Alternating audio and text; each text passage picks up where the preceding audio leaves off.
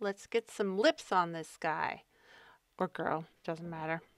Um, okay, so I'm going to divide this bottom third into thirds again. So this is about, like right now it's about the size of my finger. Um, and this, this line right here, the uh, top third, like that, that top third line is where the opening to our mouth is. The bottom part is where the bottom of our like lips are kind of going. That's kind of where the divot of our chin is, okay? If you thought about it, if you were looking at teeth, like that's where the teeth would be.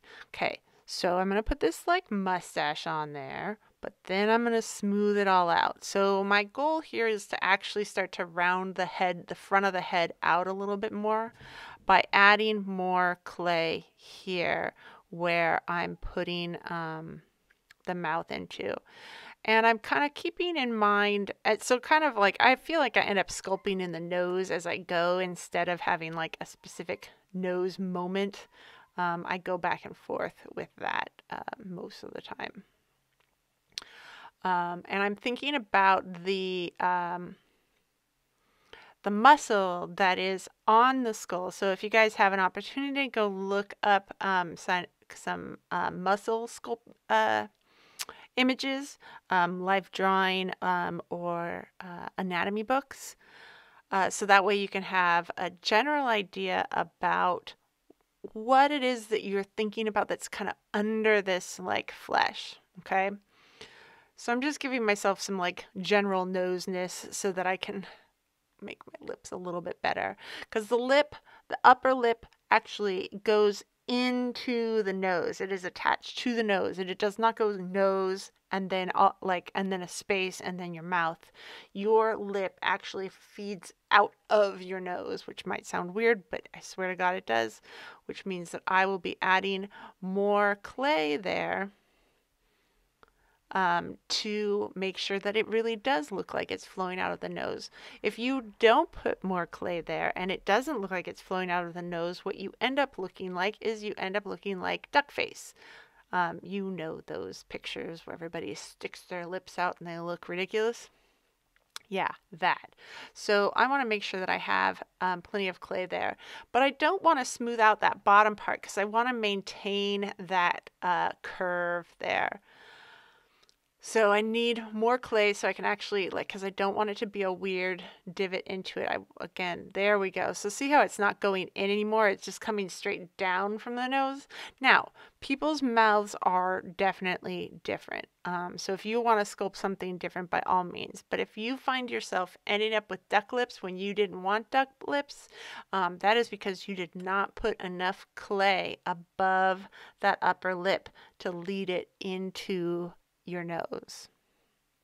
So I'm going to start to smooth that out and then try to maintain that um, that edge that's just ever so slightly nice. Um, that is actually the muscle um, like rim of your lip.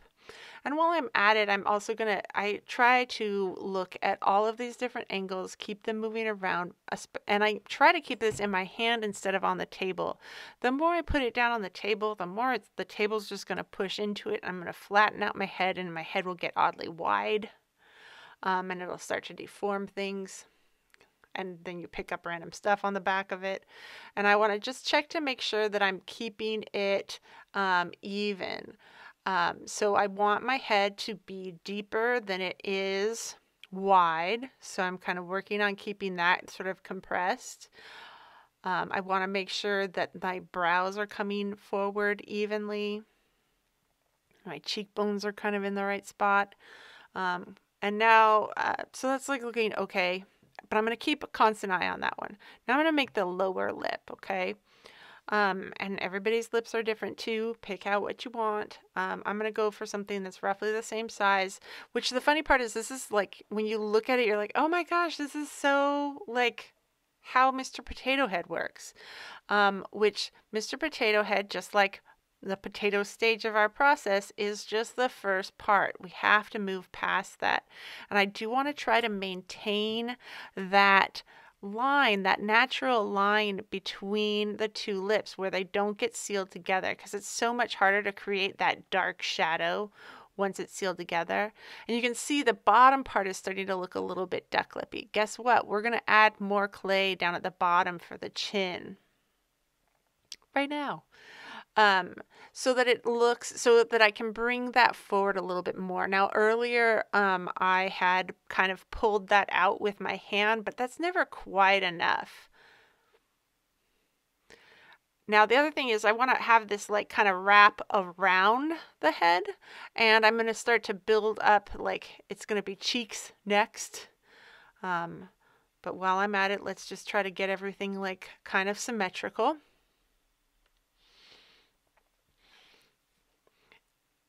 But I want to make sure that that mouth like wraps around my head and isn't stuck on the front of my head. So I'm going to be pushing those little corners back in. Um, and especially once I start to build up the cheeks, those dents that I put on either side will start to make a little bit more sense.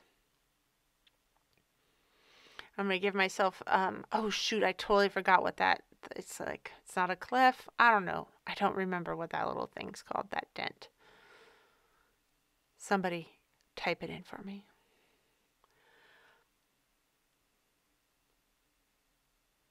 I'm just going to give my nose just a little extra clay because it's, it, I dented it a little bit. And I, because I do want to make sure that septum, see, I think that's a septum. I remember names of body parts. No, I don't.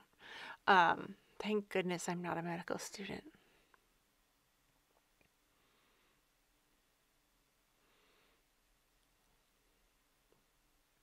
But I'm going to start to work on rounding this over so it's not such a hard curve because our noses, remember when we want to sculpt, soft things, it's going to have little like rounded bits.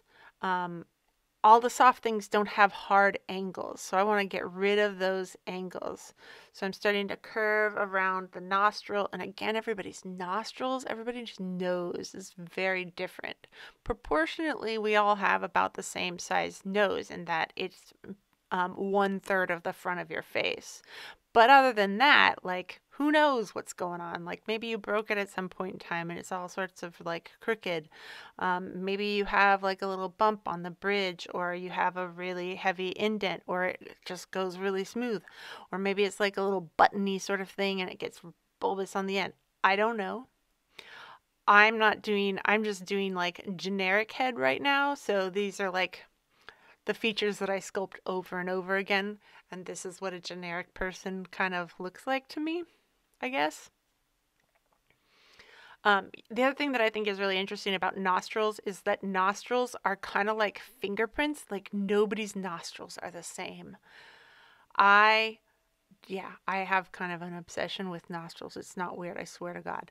Um, I just like to like, that's the thing that I notice. I don't notice like ears, but nostrils. So now I'm going to go over into the corner and I want to create the curves of the lip because right at the corner is generally where I can get a little bit more depth and shadow.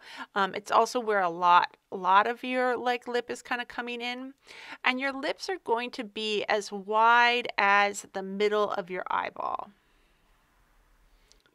And um, now I want to work a little bit on the cheeks because like I said, the sides of our um, mouth really are going to start to make a little bit more sense once we get a little bit more cheek. So just like my chin was a little bit underdeveloped before, I'm going to add just a small like chunk of clay over onto the chin and it's kind of like a triangle shape over onto the side. Um, so that just below the eyeball, right at that halfway point, that's going to be the part that actually is sticking out the furthest on your head. And then I'm going to round that over. Like, so there's a muscle that comes from the middle, the bridge of your nose down into your cheek.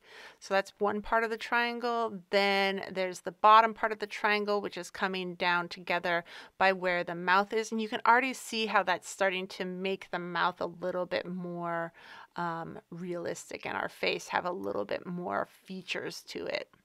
Okay, so one side versus our um, other side that doesn't really have any sort of cheek yet. Now the other thing that's happening is so there's my like that middle uh, cross there is where my ear is going to go and that's actually where my ear goes is also the back of our um, our jaw okay so i'm kind of bringing out that jaw a little bit more so that, that we're not just like a weird oval and then we'll do the same sort of triangle over on the other side I'm trying to get things to match again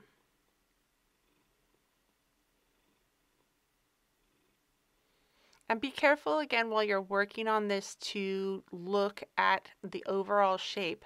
Keep checking to make sure that you're not turning it into this sort of like really flat, um, something that's wider than it is deep, because that's not how heads work.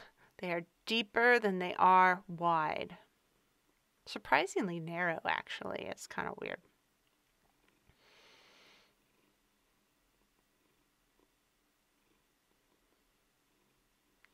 now I'm going to add just a little bit more clay over onto the sides. This is like the muscle and the meat and the fat that's underneath your skin. Um, it's what really starts to create a sense of fullness. Um, so initially when we started making this form, we had a blocked out like area of like some stuff needs to go here.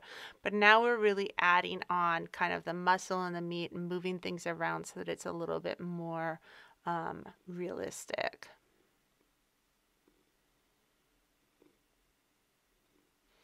So I'm going to do two little um, like croissants or something, half moons. I'm going to put that on either side.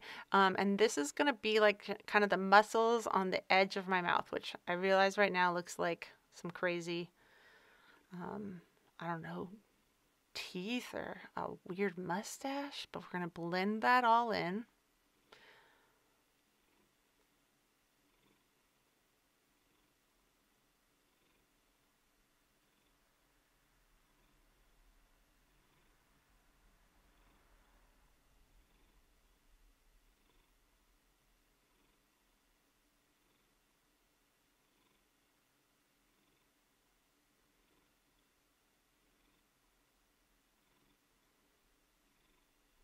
And remember, your mouth should be about as wide, should go out as far as the middle of your eyebrow. I mean, sorry, not your eyebrow, your eyeball. Um, so as long as it's going that wide, then you're doing good. And it should fade into the edges. Now, if you have a tool like this that has this nice little like tapered point, oh my gosh, it's so great for this. It's my favorite tool for this little exercise right here because it allows me to create everything like so when you're working on this you're basically making an exaggerated bit and then you're softening it and you exaggerate it and then you soften. Um, now you don't want to soften too much you don't want to over exaggerate so it's it's kind of a fine line where you're just kind of constantly walking it back and forth. Um, plus things move around as you're working on it and you're going to start to notice that they aren't even or something like that so Again, check all of your angles frequently and try not to work with it on the table too much. When you're not working on this, make sure that you cover it well and maybe even just spray it with a little bit of water. You don't want this to get hard. You want this to stay pretty soft while you're working on it.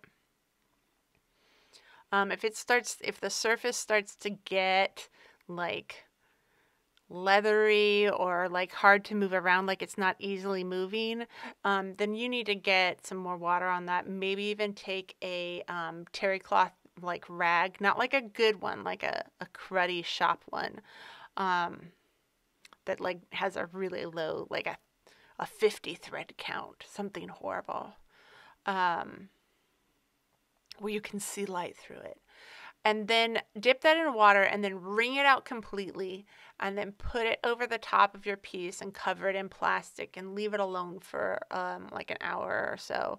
Um, and that should actually help bring it back. Don't put it onto your um, cement board. Your cement board will dry your piece out more. We just want to be careful to not, um, if it's not easily kind of smearing around, it just makes this entire process a lot harder. So I'm working on softening the edges of this, of my mouth now, and making sure that I maintain that kind of opening. Um, I think that the wooden knife is actually a great tool for a lot of uh, lip things. And I'm really working on keeping that kind of rounded too. And that's the thing I like about the wooden knife is that it has a little bit of a curve to it so that works out great in terms of creating that angle.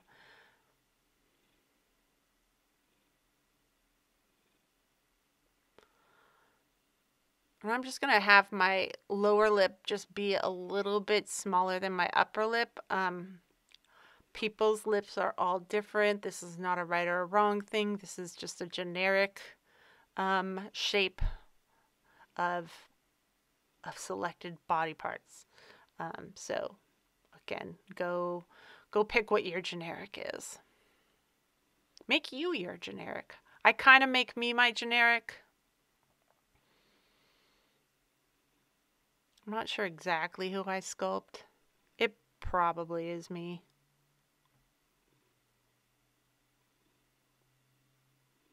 Or like a weird male version of me. I'm not sure. I'm going to go back and make that jawline again.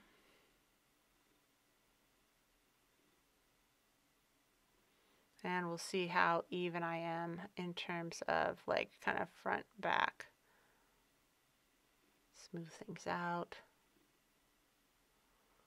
Make sure my chin's even.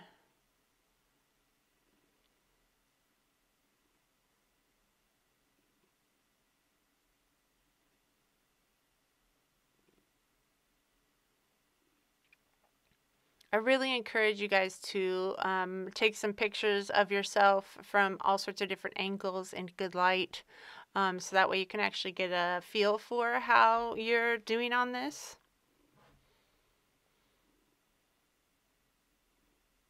I want you to make a realistic head, but your head doesn't have to be of anybody in particular. Um, and if you want to go a little fantasy on the hairstyle, by all means, do that.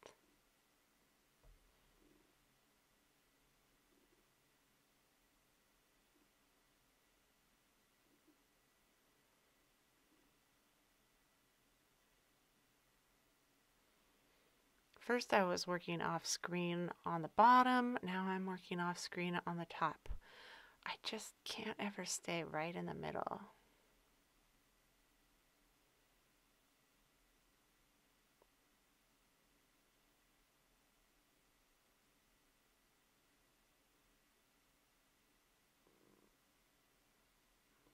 Get those crumbs out of the inside.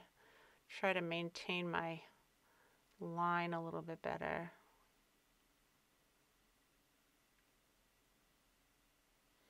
And if I just push up on that lip a little bit, I can really change the lip line super easy. It's actually kind of fun. You can play around with giving yourself like super full lips or uh, super skinny ones, whatever you want.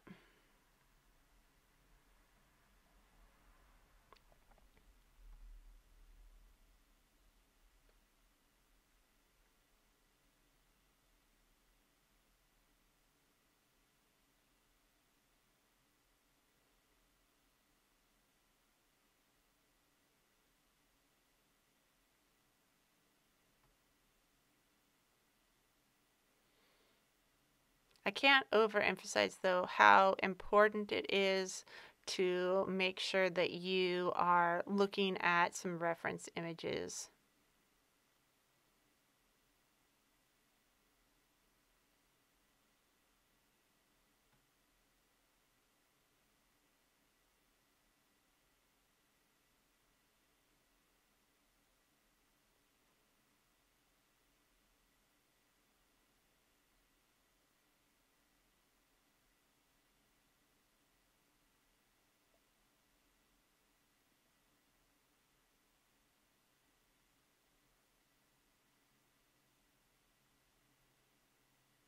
Okay, I'm just checking to make sure that my lips are like in the right angle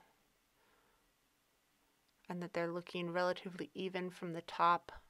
Always check from as many different angles as humanly possible, guys. look for some level of symmetry. It doesn't need to be perfect. It's like people aren't perfect. That's like the cool thing about people um, is that they aren't fully symmetrical, but they're like pretty close. Enough that when we look at it, we like think that they're symmetrical, and then when you take those pictures and you like just double both sides of like their face, and it looks super creepy, um, or really good. I'm not really sure.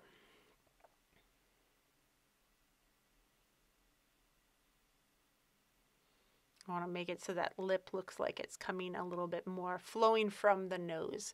Your mouth and your nose are connected, guys. That upper lip is connected. I'll start to round that nose out a little bit.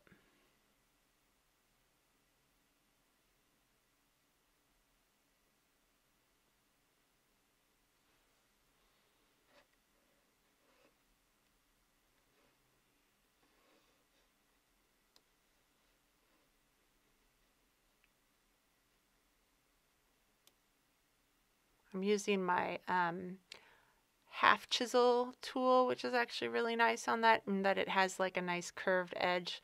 I could do that with the wooden knife as well. Um, if you don't have these uh, clay shapers, don't worry, you will be okay. Your life is a little bit more difficult, but generally, um, the first time of, of us sculpting a head, um, having those finer tools don't necessarily do you a ton of good. And then after you're done sculpting it and you had to make another one, then you'd be like, oh my God, these tools are amazing. But, you know, uh, don't worry about it. Uh, these clay shapers um, at Aardvark are like, the set of them are like $80. Um, if you get this, these are this is one of the few things that Aardvark does not have a competitive um, price on, at least in comparison to Amazon. Pretty much everything else, Aardvark is definitely the way to go. But the clay shapers, I can find the same set that's eighty dollars at Amazon for um, like thirty dollars um, on uh, on uh, Amazon. Did I say that right? So, eighty dollars at Aardvark, thirty dollars on Amazon. Yeah. Um, but they're not always available either. Uh, so, you know. And then there's another thing called color shapers, which is similar, but generally I find those for relatively cheap, um, again on Amazon. Um, but everything else I like to get from Aardvark. Uh, they're generally cheaper. I'm just going to round that out. So you can see how that's totally softened up our lips and all of that weird stuff that we had before where we pulled things back. Um, like that's gone. We start to see that sort of like triangle of the like muscle coming down from the nose to the corner of the cheek. Um, we see a little bit of extra like muscle or skin right along the edges of the um, lips, which isn't on everybody. I just happen to like that a little bit. I like to sculpt that. And my nose is looking okay. I just want to make sure. So now I'm going to start to like clean up some things, check all of my sides, see if things are uneven.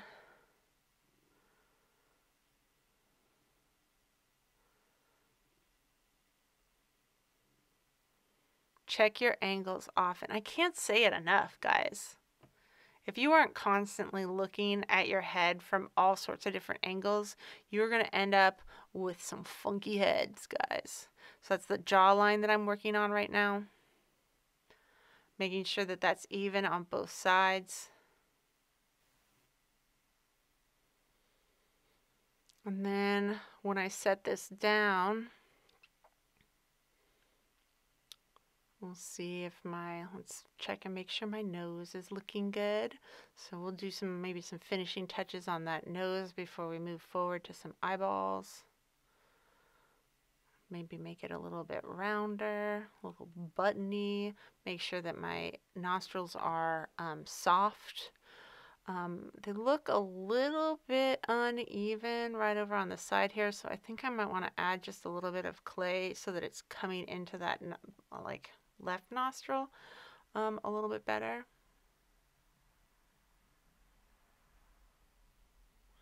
And it's just such small adjustments that can make such a huge difference.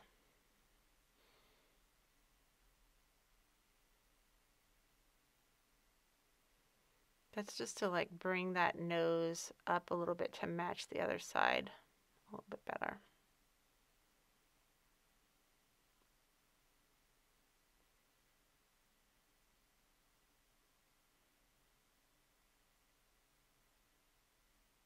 This nose has come a long way from where we were at Squidward at the beginning. I'm just trying to get rid of the edges. There shouldn't be any hard edges on this. Um, our nose is all very soft and relatively squishy.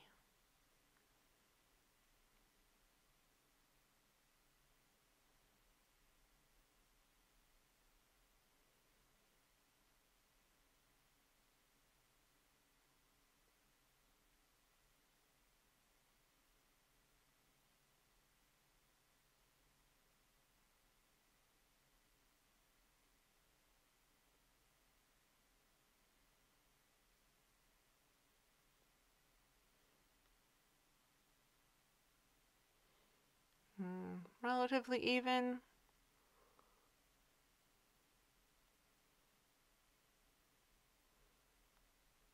Not, nothing too far off. It all seems to be within very acceptable variations. Maybe bring that cheekbone up a little bit to match the other one. Yeah.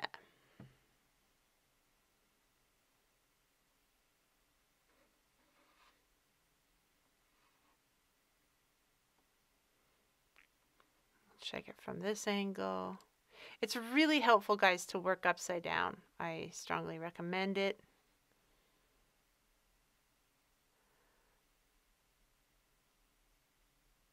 You can see how much things change, especially in terms of the shadow and stuff that I have going on.